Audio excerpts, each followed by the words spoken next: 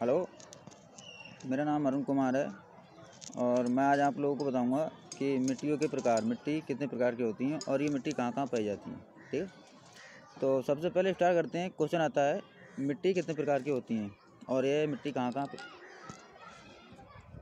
प्राप्त होती हैं और इन मिट्टियों में कौन कौन सी फ़सल पैदा होती है, ठीक?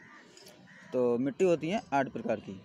नंबर एक जलोढ़ मिट्टी, नंबर दो काली मिट्टी, नंबर तीन लाल मिट्टी, नंबर चार लेटेराइट मिट्टी, नंबर पाँच बनिए मिट्टी, नंबर छः जैव मिट्टी, नंबर सात क्षारीय मिट्टी, नंबर आठ मरुस्थलीय मिट्टी, ठीक है?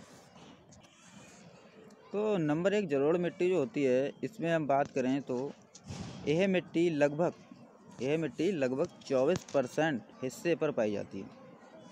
भारत की सर्वाधिक महत्वपूर्ण मिट्टी है, यह मिट्टी नदियों द्वारा लाई गई मिट्टी है। इस मिट्टी में पोटास अधिक मात्रा में होती है। नंबर दो, काली मिट्टी। भारत की स्थानीय मिट्टी में से काली मिट्टी सबसे अलग दिखाई देती है। इसे रेगुर भी कहा जाता है। इसमें नाइट्रोजन, पोटास, ह्यूमस की कमी होती है। लेकिन प्रायः इसे काली कपास मिट्टी कहते हैं। यह मिट्टी मुख्यतः महाराष्ट्र, कर्नाटक, गुजरात और मध्य प्रदेश में भी पाई जाती है। नंबर तीन, लाल मिट्टी। अब लाल मिट्टी की बात करें हम तो लाल मिट्टी लाल, पीली एवं चॉकलेटी रंग की होती है।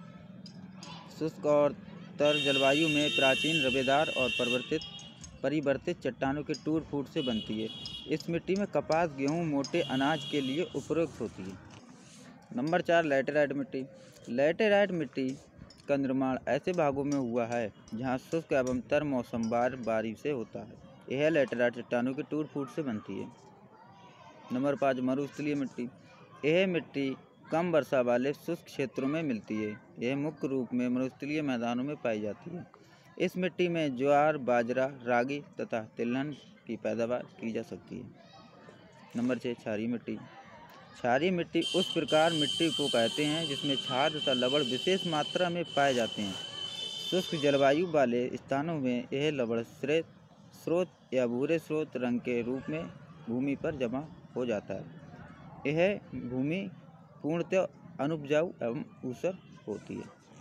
नंबर सात, जैव मिट्टी। इस मिट्टी में लगातार रसायनों के छिड़काव एवं रासायनिक उर्वरों, उर्वरकों की बढ़ती मांग ने पर्यावरण को प्रदूषित करने के साथ साथ मिट्टी की उर्वरा शक्ति को भी घटाया है।